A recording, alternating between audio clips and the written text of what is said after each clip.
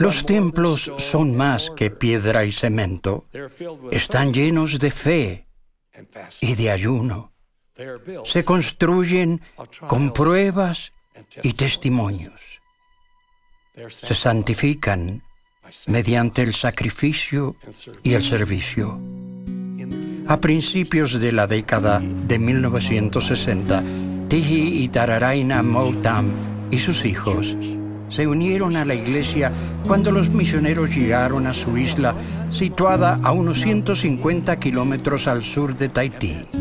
En ese entonces, el templo más cercano para la familia era el templo de Hamilton, Nueva Zelanda, a unos 4.000 kilómetros hacia el sudoeste, solo accesible por avión, lo cual era muy caro. La numerosa familia de los Moutam sobrevivía con una escasa entrada monetaria de una pequeña plantación. No tenían dinero para el viaje, ni tampoco había oportunidades de trabajo en esa isla del Pacífico. Así que el hermano Moutam y su hijo Gerard tomaron la difícil decisión de viajar 4.800 kilómetros para trabajar en Nueva Caledonia, donde trabajaba otro de los hijos.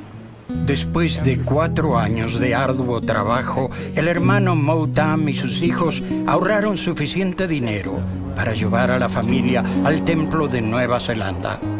Se sellaron por tiempo y por la eternidad una experiencia indescriptible y de gran gozo.